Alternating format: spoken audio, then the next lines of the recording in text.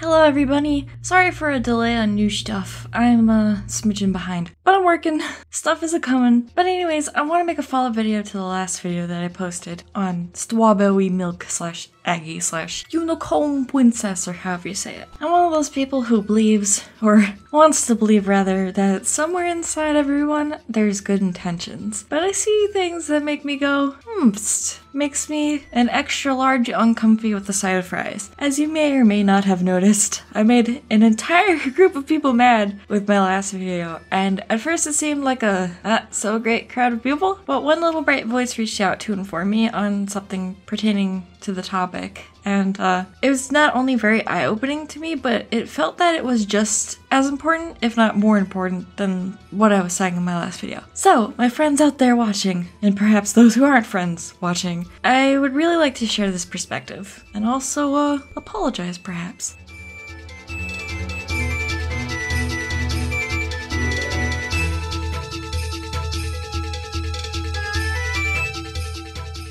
Alright, so as with the last video, the subject matter in this can be a bit rough. I tried to be lighthearted and funny in the last one to kind of alleviate the heaviness a bit, but I don't think I'm going exactly the same route this time. But of course, viewer discretion advised, this video contains conversations of abuse, sexual misconduct, and the former but involving children. Also, I'm not a doctor, I'm not a therapist, psychiatrist, psychoanalyst, but none of those things. And if I say something that sounds like I'm trying to make claims previously, those are 100% my speculation. I'm not a credible source. Do not take me as a credible source. Alrighty, so today's topic.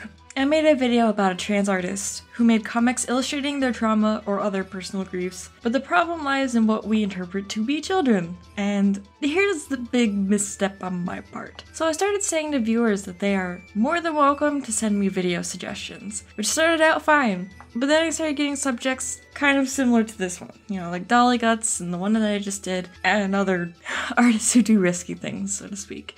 The thing is, I'm not on a personal level very passionate about those people specifically, but I think it's interesting to show what they have done before that's so no noteworthy to everyone and discuss it. I try to inject opinions to make the video more personal and not like I'm just echoing what I've read slash heard, or try to even peek at other perspectives. I do think to a degree it's kind of fun to talk about, but I started getting more requests of questionable people. Some that I haven't taken up, or at least not yet, or debated taking up but wasn't really sure, and with each new suggestion, the things that I'm shown just goes off the rails, getting more and more questionable, and just out of my reach, and most of them have something to do with like mental health or like pay to pay type of stuff. And I'm gonna be real, I hit a point of starting to feel genuinely uncomfortable. Like, my channel is still relatively new in terms of me posting these like speed paint commentary thingamabobbers. And literally a couple of months ago, I was thanking everyone for a thousand subs,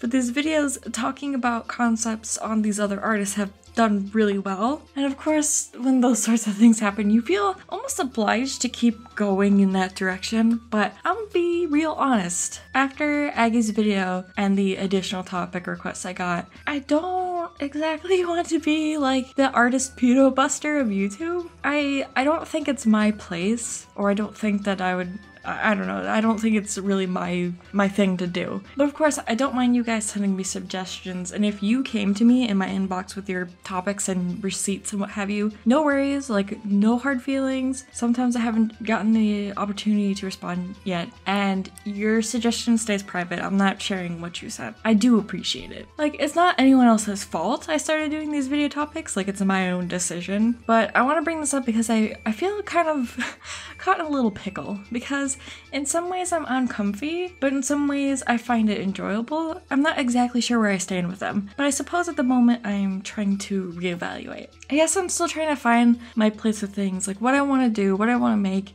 and make stuff that's enjoyable for others to listen to. But here's the thing I really don't want to create stuff if it's going to make someone feel like I'm intentionally hurting them. Like, it's one thing to talk about something when someone is definitely somehow in the wrong, but I don't really feel good about making something if someone is going to suffer by me making it. And while the Aggy video was just a casual suggestion by a friend, and I thought I would make it just real fast to be funny and, you know, talk about a tough topic, I realized that there was a crowd of people I could have hurt, and they weren't pedophiles. Same goes with the Dolly Guts video, so I wanted to talk about that today. So somebody made a post on Twitter going after me after the video I had made on Aggy, which I mean, it isn't a big deal because no matter what you say, what you do, there's going to be someone who disagrees with you, right? Someone out there will hate you no matter what you say. Even if there's a large crowd of people, there's always two sides to every coin. So I wasn't too bothered by it. In the past, I used to be very flighty, and if even one person farted even one molecule of being upset with me, I would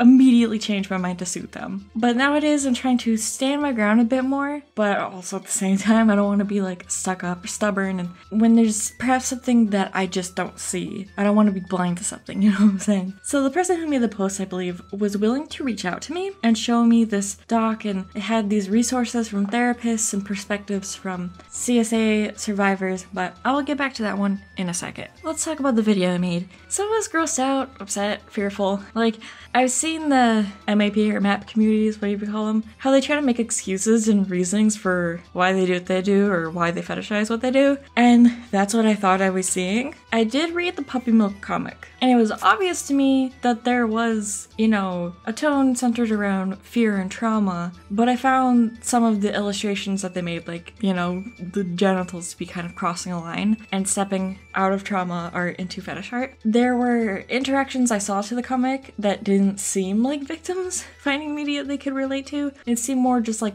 maps justifying themselves. And trust me, my mind has not changed on maps or pedophiles themselves, but in this specific video, I want to talk about trauma art. There were also comics and doodles that didn't seem like trauma art that Aggy made, and like the tweets likes that also reflected some not so great behavior. So when I replied on Twitter, that's what I was seeing, right? I saw someone partaking in mortifying behavior, and I couldn't understand why anybody would support that unless, you know, they themselves are kind of into kitty porn or something. And most people responding, like, weren't really seeming like they had all their nuts and bolts screwed in tightly. You know, it, it, it was hard to take any amount seriously. Like, it, you know, when people are just trolling or acting a fool, like you do, you know, on social media. So I wasn't trying to take it too seriously. But I was confused because people started going through my likes on Twitter and calling me a hi- hypocrite and what have you.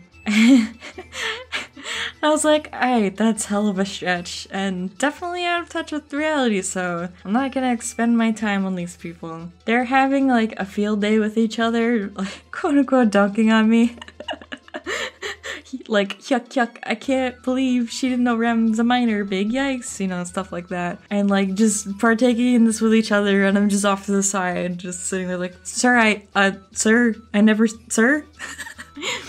So it's like, so tension machine broke, ran out. We don't have the attention here for you, sir. But a few days later, I wondered, like, there's no way those people, like, seriously feel that way, right? Because my video on Aggy was, like, drawing fully exposed children's, like, genitalia taking part in, like, adult acts. But they took a screenshot of a picture I like from one of my favorite artists trying to clown on me because there's cleavage, and I was like, y'all. but I gave benefit of a doubt and reread my tweet. Realize I said, like, don't sexualize minors very vaguely, right? And it also reads very smugly, and that's when I was like, oh, that's why. like, they can't read into my mind and see exactly what I meant by that, and just off the cuff, it does sound hypocritical, which is fair. But if anybody is like digging for context, so that artist, Ayami, Ayami, is one of my favorite artists, and she actually inspired me a lot with her illustrations of Rem, like more particularly how she draws hair. And I have drawn Rem twice because of this artist.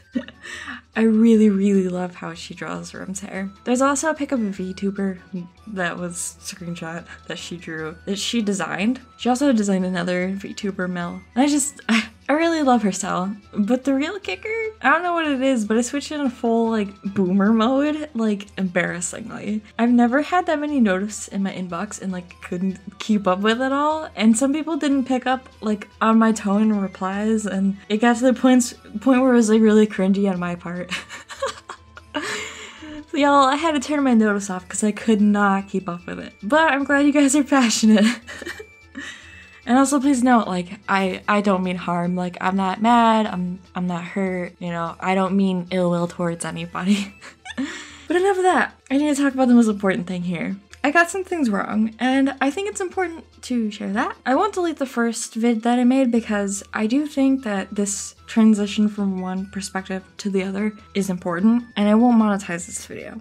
Funnily enough, someone was like saying something about like clout for me monetizing that last one, right? And even though I've been monetized for maybe like what, three months, I knew since the beginning somebody at some point was gonna say that no matter what I did, something was monetized, it was gonna be leveraged against me. It is what it is. I think it's dumb, but I do understand exactly why people feel that way, and it's it's definitely fair. It's absolutely fair to feel that way. And I want to further illustrate how important I feel the topic is by not monetizing it for that reason. So throughout the goofs on Twitter and some pretty horrifying things that people were trying to show me on purpose for shock value or what have you, there was this one voice who spoke up and was very serious but kind and linked me a doc like mentioned before. And at first I was skeptical, I'll be honest, because no one else appears to have genuinely good intentions from what I saw, right? So I read the doc and I took my time with it, made sure I understood it, took it with a grain of salt if I needed it. And even though the subject matter kind of in and of itself is a bit rough, I was enveloped in a warm feeling. I felt almost tingly and good, which sounds weird, but reason being, there are many people out here doing things with good intentions. Like, not all of these people are bad. Maybe none of them are bad. I don't know for sure, but it's extremely relieving that there is some light in this dark situation. But also, I was very grateful that someone took the time out of their day to show me something and expose me to an entire world and perspective I didn't even know existed. And of course, the she and anybody else in this like group of people affected by this didn't have to do that. So that was magical. And guys i'm gonna be real. I felt bad. Like genuinely bad. So hear me out. The aggy video has a primarily positive response. Most people agree with what i was saying but i was mortified and realized that it is important that i clear up with this new perspective. I learned more so what trauma art really is.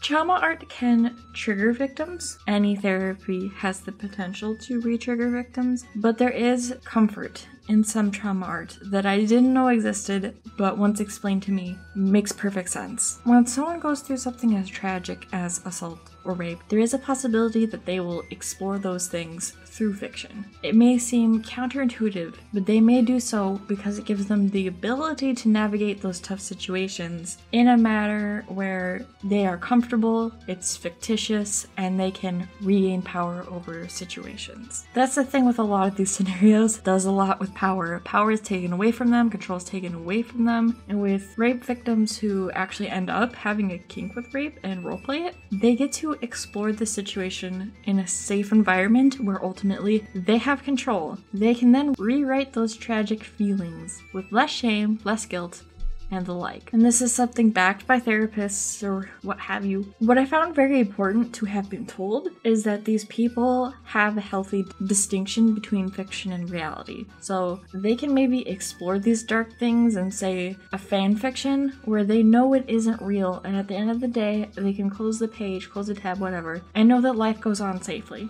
But what does this have to do with cheese pizza, you might say? Or just child art in general? So the same could be said for the CSA victims. They are doing the same thing, where they're exploring these horrifying memories in an environment where they can regain control and understand that this is all fiction. And with Aggy's comics, I can now see where a lot of that lies. So I was mostly upset because even if it's trauma art, the drawing of the genitalia is unnecessary. That's how I felt. I found I found that with Aggy's puppy milk comic, like there's definitely elements of gender dysphoria in there. Like even before I made the video, like I could tell. But I now understand the context of Aggy's comic. These comics illustrate an absolutely god-awful tragedy unfairly bestowed upon her, along with the conflicting feelings of being disgusted for yourself because of gender dysphoria. I realize now that Aggy draws the beans as a means to accept that they are not disgusting for what they were and what they went through. I will go back to Aggy's stuff more here in a second, but I want to continue with the trauma art just a bit more. I have made claims that like these things shouldn't be public, just out in the open because it might harm people, but saying things like that further perpetuates the shame and guilt these people already feel. Saying that they can't post online is like saying that they are shameful and wrong or for the awful things that they go through, that they had go through, and their own personal methods for handling their trauma in a way that benefits them. Saying they can't post these things online is like saying that they're shameful and wrong for that, and that they're shameful and wrong for handling their trauma in a way that actually helps them. Of course, I was worried how this would harm others, right? But I realized, like, yo, I was wrong. Like with the Dolly Guts video and all that, I took a look after myself after saying those things that I did and reading that I did, and I, I feel absolutely awful. Like, not only have these people gone through some of the worst things on this planet, but some dingleberry with an uninformed opinion sat here on the internet and told them that they're even more wrong. I said that Aggy's art felt gross, but